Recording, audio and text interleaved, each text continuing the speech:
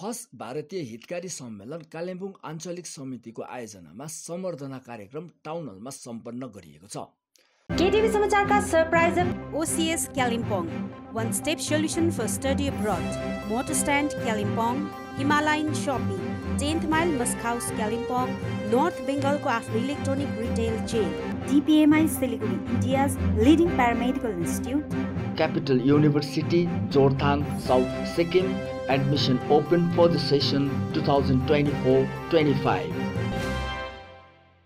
समिति अध्यक्ष रमल बुढाथोकीको अध्यक्षतामा सम्पन्न कार्यक्रममा डाक्टर विनयराज निरौला विशिष्ट अतिथि केन्द्रीय समिति सभापति मदन कुमार मिश्र डाक्टर लेखमणि शर्मा भुवन पी खनाल केन्द्रीय महासचिव बलभद्र शर्मा कुमार छेत्री पिआरओ अनुप छेत्री योगराज पौडेल लगायत अन्य अन्यको उपस्थिति रहेको थियो।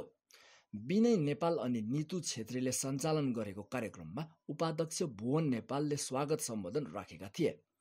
यसैबीच सङ्गठनलाई सेवा प्रदान गर्ने पदाधिकारी जेपी न्यौपाने केबी खड्का शान्तिराज शर्मालाई सम्बर्धना जनाइयो। सङ्गठनमा युवाको भूमिका विषय लिएर युवा संयोजक निर गिरीले उत्साहपूर्वक मन्तव्य राखेका थिए। का सभापति श्रद्धेय सर मदन मिश्र सर मूल सचिव बलभद्र सर कार्यकारिणी सदय दाई भन यसरी नै केन्द्रीय महासचिव बलभद्र कुँवरले साङ्गठनिक विषयवस्तुमाथि प्रकाश पारेका थिए। कालिम्पोङ जिल्ला अन्तर्गत दसौँ अनि बाह्रौँ बोर्ड परीक्षामा Paschim Bangal board ICSE ISC CBSE board परीक्षामा सिबिएससी बोर्ड परीक्षामा उत्कृष्ट प्रदर्शन गर्ने विद्यार्थीहरूलाई सम्वर्धना कार्यक्रम मुख्य आकर्षणको रूपमा रहेको थियो। अधिकारी अनि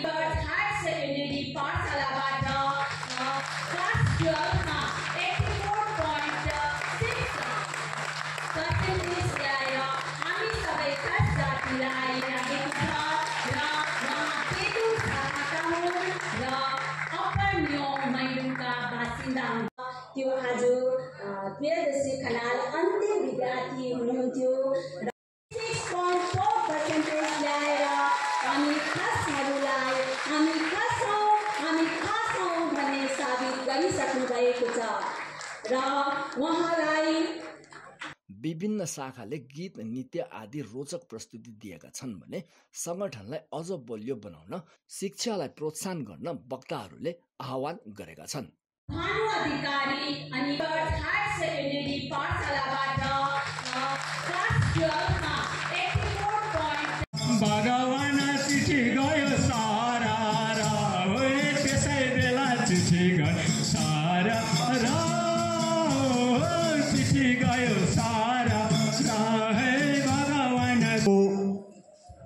समय काल र परिस्थितिको हिसाबमा हेर्नु भने युवा हरेक क्षेत्रमा हरेक अवस्थामा युवा सबैभन्दा ठुलो निर्वाह गर्ने भूमिका निर्वाह गर्ने एउटा सबैभन्दा दरिलो पक्षधर हुन् भन्नुमा कुनै अतियुक्त हुँदैन जस्तो लाग्छ मलाई आजको परिप्रेक्ष्यमा। थियौँ र यो परिचय हामीले बङ्गाल सरकारमा बुझाउन सक्यौँ। र प्रधानमन्त्री स्वयंले नर्थ बेङ्गालको भिजिटमा आउँदा उहाँले आफ्नो सम्भाषणमा एघारवटा जातको नाम लिँदा तिन नम्बरमा खसको नाम लिनुभयो। कसले गर्दाखेरि? यो सङ्गठनले गर्दा हो नि त। आज यो सङ्गठन दिएर आज केन्द्र सरकारको प्रधानमन्त्रीले पनि हाम्रो नाम लिनु सक्नुभयो। र सङ्गठनले के गर्यो भन्ने कुरामा तपाईँहरूले तुच्छ विचार राख्नु हुँदैन। अझै तपाईँहरूको सहयोग पायौँ भने हामी अझै धेरै ठुलो कामहरू गर्न सक्छौँ होला भन्ने हामीलाई आशा लागेको छ। र म मेरो एउटा ठुलो कुरा हो। र पढाइमा त्यस्तो कुराहरू अर्को कुरा डिटर्मिनेसन र डिभोसन भन्ने कुरा चाहिँ भयङ्कर इम्पोर्टेन्ट।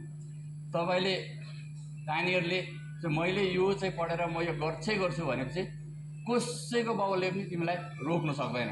तिमीले त्यो टार्गेट एचिभ गर्छौ गर्छौ तर तिम्रोमा डिटर्मिनेसन चाहिँ हन्ड्रेड एन्ड टेन पर्सेन्टको डिटर्मिनेसन भएको हुनुपर्छ है? जान्ने हामी भन्छौँ ऊ त भयङ्कर ज्ञानी। उसले चाहिँ सक्छ म चाहिँ सक्दिनँ। त्यो कुरा कहिले पनि होइन। ज्ञानीले अलिकति कम्ती पढ्दा हुन्छ अर्कोले पनि त्यत्तिकै नै ल्याउनु सक्छ तर प्रोभाइडेड उसले ज्ञानीभन्दा अलिकति बेसी समय चाहिँ दिनु पऱ्यो नि। है? त्यस्तो कुराहरू छ।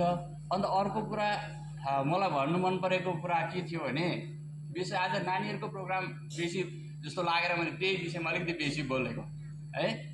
एउटा कुरा मलाई के भन्नु मन पऱ्यो भने जुन चाहिँ रिभिजन एन्ड रिक्यापिचुलेसनको जुन कुरा आउँछ पढाइमा त्यसको जुन